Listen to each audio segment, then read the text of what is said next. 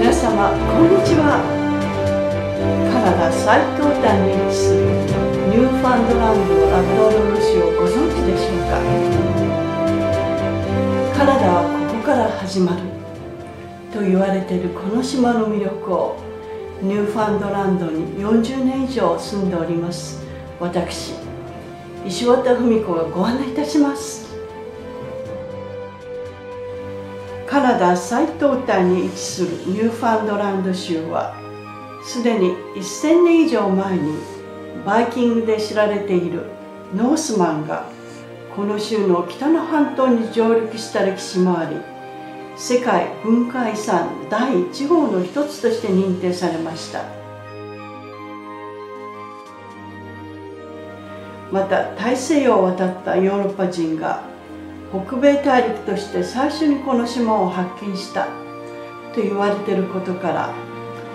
カナダ始まりの場所と言われています。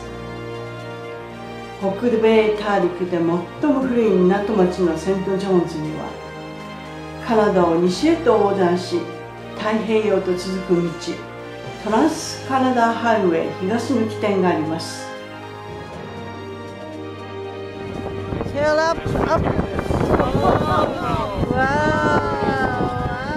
初夏になると南から渡ってくるクジラ。海鳥。そして愛らしくカラフルなパフィン。日本では貴重な植物で幻の花とも呼ばれるアツモリソウ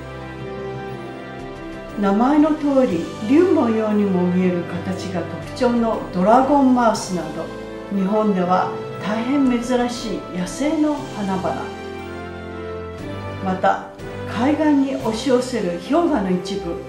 海に浮かぶ紺碧の氷山の群れなどこれらは皆広大な大地を抱いているニューファンドランドの魅力です。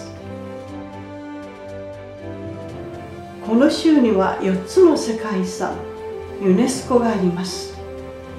そのうちの一つここのアイコンともなっているグロスモン国立公園では長い年月をかけて氷河によって削られたフィヨルドと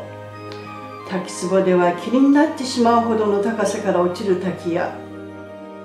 何億年もの昔は海の中にあったマントルが海底から押し上げられたテーブルランドなど地球の壮大な大陸の動きを皆様の肌で感じ取られることでしょう。豊穣な海流が育む新鮮で美味しい海の幸もニューファンドランドでの楽しみの一つです宝石のようなニューファンドランドの魅力はまだまだありますこの素敵な宝石箱を開きにニューファンドランドへお越しください。お待ちしております。